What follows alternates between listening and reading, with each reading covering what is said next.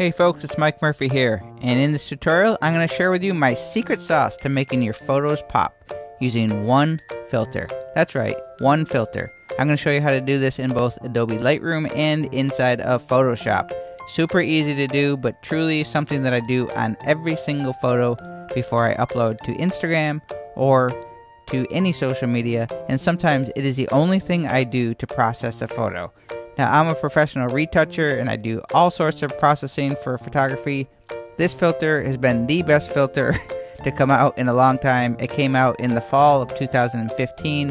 A lot of people don't even know about this filter, but it is truly amazing and I'm happy to share with it share with you today. What it is that I'm talking about is called the Dehaze filter.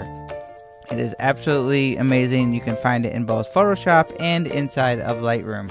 I'm going to show you here. I have a couple images here straight out of the camera. This is a raw image right out of a Canon T5i. And you can see here, nothing's been done to either one of these photos, okay? With one click of a button in the dehaze filter, you can take this photo and turn it into truly, it just pops instantly. So what you're going to do is you're going to go into the effects panel over here on the right and on the bottom here you can see dehaze. I usually start with a number of 50 then I back off because it can be pretty powerful. And just like that, boom. One filter, before, after, before, after. If you want to know how to get the before and after on in Lightroom, just hit the backslash key above the enter or return on a Mac. Before, after. Truly amazing. One filter. I'm going to back this down to let's say 35. And you get a nice pop all the colors come out, the nice contrast. What the dehaze filter is supposed to do is remove haze, obviously, dehaze, from a photo. Say you're in an urban environment, a lot of times you get that haze. You can also add haze though if you want to, if you slide to the left, you can get this nice little effect. Could come in handy for some sort of design feature, but play around with that. If you go to the other end, super extreme, but even the highest extreme, you can just see here it's a nice controlled pop. And truly, I don't think this is what it was designed for, but it is a nice way to give your images just that little bit of oomph without having to do anything. Look at this, just with one filter, I'd be happy with that image right there. Let's take it to photo number two.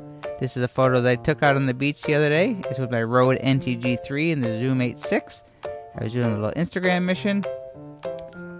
Start with a number 50. Boom. Look at the way the water just pops. Before, after before or after. There's not much detail in the sky, but if there was, it would give a nice pop. The grass has a nice green, even the wood, everything just, the contrast is perfect. Again, I might bring this down to say 40. You can just slide, use the slider or just use your arrow keys to move the numbers down until you find a good happy medium. This filter, you can overdo it with the saturation because it looks so good right out of the box, but truly, the dehaze filter, I suggest you use this. I use this on every single photo. Let me show you how to do it inside of Camera Raw in Photoshop.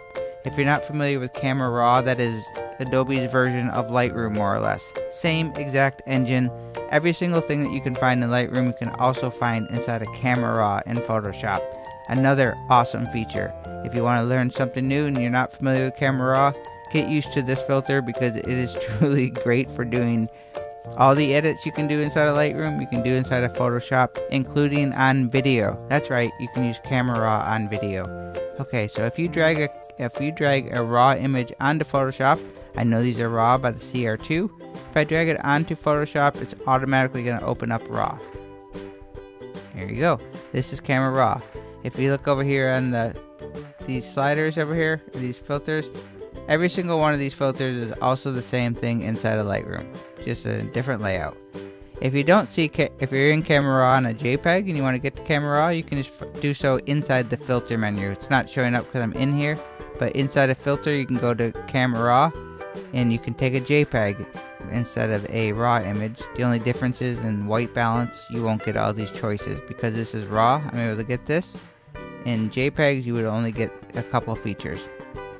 Okay, so the same thing, under the effects menu dehaze is on top because it's important. 50. You're going to get the exact same results here inside of Camera Raw as, we did in, in Lightroom, but I just wanted to show you that you can do it in both.